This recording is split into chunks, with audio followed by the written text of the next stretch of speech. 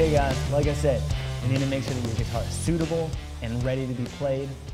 So let's check it out. Now, the first thing I want to talk to you guys about is the action of the guitar. Now, I'm not talking about your favorite Chuck Norris movie here. Okay? I'm talking about the guitar's action.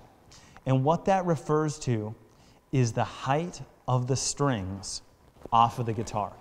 So, this kind of distance here. So, now just have a look at your guitar in your lap. Now, if you got high action, if your strings are really high, you can imagine how tough that's going to be to press your fingers down. You know, that's just going to be so much work. Now, if your strings are nice and low, then you're going to have a way easier time playing because then you don't have to press down nearly as much. Okay? So that's the first thing I want you to make sure. Now, the second thing that we need to make sure that our guitar is suitable is if we're in tune.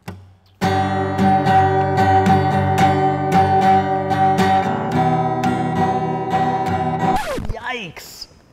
That's crazy, hey? So what's going on here is my guitar is savagely out of tune. And that just goes to show the importance of having an in-tune guitar. And it's gonna be vital to your performance and your journey throughout these videos. So no matter how good you are, if your guitar is out of tune, it's just gonna sound bad, okay? So it's really important that the first thing that you do when you pick up your guitar and practice is you're gonna tune your guitar straight up. There's about four strings in there that slipped out. All right, now the only thing that has changed here is an in tune from an out of tune guitar, right? I'm still, I'm still Will Ripley, right?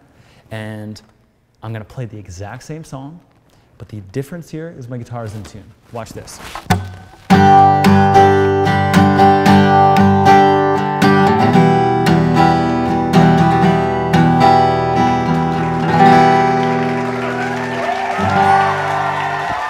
Wow, what a huge difference, okay? So go through all your strings. You can learn the names of the strings while you're doing this, E, A, D, G, B, E, and now you got an in tune, ready to go guitar.